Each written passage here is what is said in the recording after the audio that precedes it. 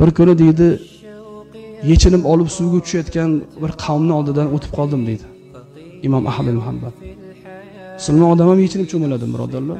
Ichki kiyimda bo'lib suv bo'yida isib ketdik deydi. Jahannam issiq undan ko'ra issiqroqu ahmad muhammad aytyapti shu qavmni oldidan o'tib qoldim va aytdimki kim allohga oxirat kuniga iymon keltirgan bo'lsa hammomga izorsiz kirmasin degan rasulullohni hadislari bor. O'shani aytdim deydi. Shuni ishora qildim deydi. Va o'zim ham yechinmasdan ya'ni yalang'och bo'lib cho'milgan yo'q. Izor bilan cho'mildim tushgacha tush ko'rdim tush ko'rgan paytimda ey ahmad xushxabar. Alloh azza va jalla bir sunnatga amal qilganing uchun seni kechirdi va seni insonlar senga ergashiladigan seni bir imom qildi dedi.